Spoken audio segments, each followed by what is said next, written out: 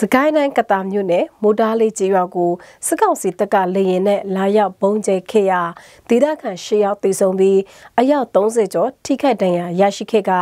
နေအိမ်အလုံး20လောက်ပျက်စီးသွားခဲ့ပါတယ်။မိုးတားလေးရွာထဲကိုစစ်ကောင်စီတပ်ကတိုက်ပွဲတစုံတရာဖြစ်ပွားတာမျိုးမရှိဘဲဇန်နဝါရီလ18ရက်နေ့ညနေပိုင်းမှာလေရင်တုံးစီးနဲ့လာရောက်ဘုံကျဲတာကြောင့်ထိခိုက်တေဆုံးမှုတွေရှိခဲ့တယ်လို့ဒေသခံတွေကပြောပါတယ်။ မြစ်ကြီးနားဘက်ကဆင်းလာတဲ့ဂျက်ဖိုက်တာတုံးစင်းကကတ္တာခရိုင်မိုးတားလေးရွာထဲကိုပေါင်900မီးလောင်ပုံကျဲချခဲ့ရာရွာအနောက်ပိုင်းရှိအလူအိမ်တအိမ်ပေါ်ကြားရောက်ပောက်ကွဲခဲ့တဲ့အတွက်ကျေးရွာသား9ယောက်ပွဲချင်းပြီးတေဆုံးပြီးထိခိုက်ဒဏ်ရာရရှိသူများတယ်လို့ Northern ABSDF ကထုတ်ပြန်ထားပါတယ်။ဇန်နဝါရီလ19ရက်နေ့အထိမိုးတားလေးအနီးတစ်ဝိုက်ကိုလေရင်ကနေထပ်ပြီးပုံကျဲခဲ့သေးတယ်လို့ဒေသခံတွေကပြောပါတယ်။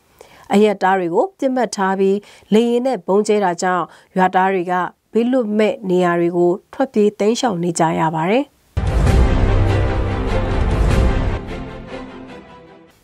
ကချင်ပြည်နယ်မိုးမောက်မြို့နယ်ထဲမှာကချင်လွတ်လပ်ရေးအဖွဲ့ KIO အနေနဲ့မြေရှားတတုတူးဖော်နေတာတွေကိုချက်ချင်းရပ်တန့်ပေးဖို့ခရီးယန်ဘာသာရေးခေါင်းဆောင်တွေအပါအဝင်ဒေသခံပြည်သူအယောက်200လောက်ကဆန္ဒထုတ်ဖော်တောင်းဆိုခဲ့ကြပါတယ်။